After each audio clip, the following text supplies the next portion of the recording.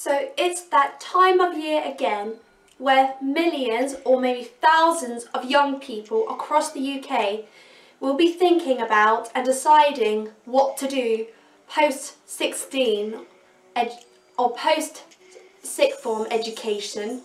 And I thought having gone through the process myself I thought why not share, sit down and share a video of some of my top tips for going about applying for university. Number one is to be absolutely sure you want to, to go forward and apply because university is not for everyone and that is absolutely fine because every single one of us is different and there are lots and lots of other other pathways so this could be an apprenticeship it could be work it could be a foundation course it could be absolutely anything and you shouldn't feel like that university is the only option and it's the only way to take you to where you want to go because that is just absolutely not true. Number two is to keep in mind that no university is going to be absolutely perfect and offer everything you could possibly want because I found this when I was applying because none of the universities had everything I wanted. So some of the universities had, had a lot of things I wanted but then didn't have others and then there's other things that it didn't have I found in other universities and so on. So keep that that in mind because it's just like a person, no single one of us is perfect is perfect. And tip number three is to sit down with as many university prospectuses as you can get your hands on and look through the courses. Like even if you're not sure, even like the funniest or idea can be, might might be work for you.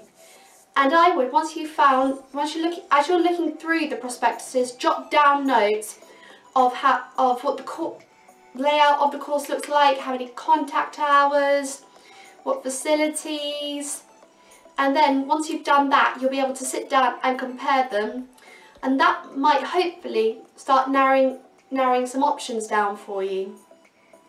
Okay, number four, and this is very, very important, go and visit the universities. Because a lot of people I know did applied for universities but didn't end up going to them.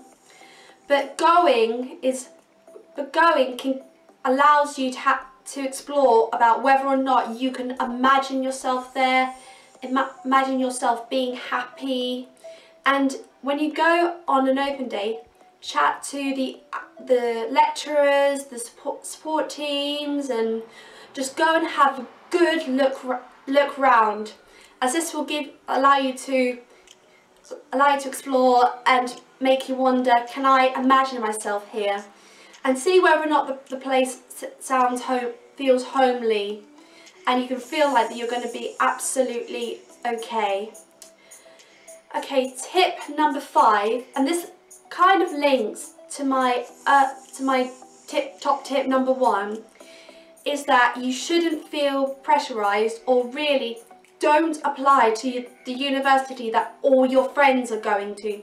Because every single one of us is different and what might be right for some of your friends might not be right for you.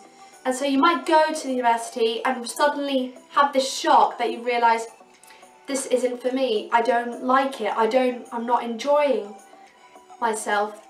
And it often happens with friendship groups in universities that your friends will start meeting other people as you will and slowly the friendship group just starts dwindling apart.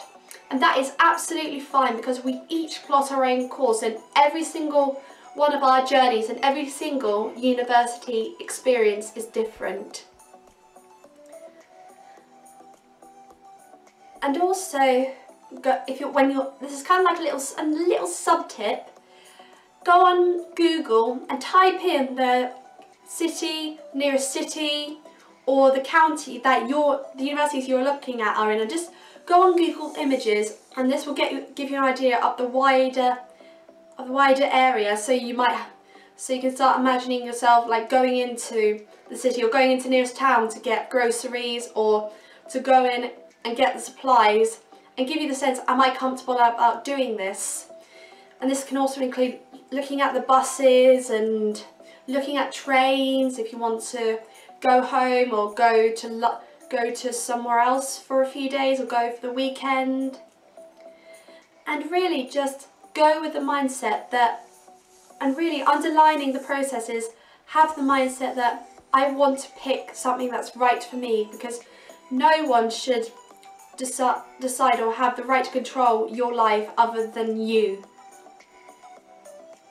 So I think that's very much all my top tips and and if you've got any other if you've got any questions please comment below and all the very very best of luck going through the process and applying. So bye!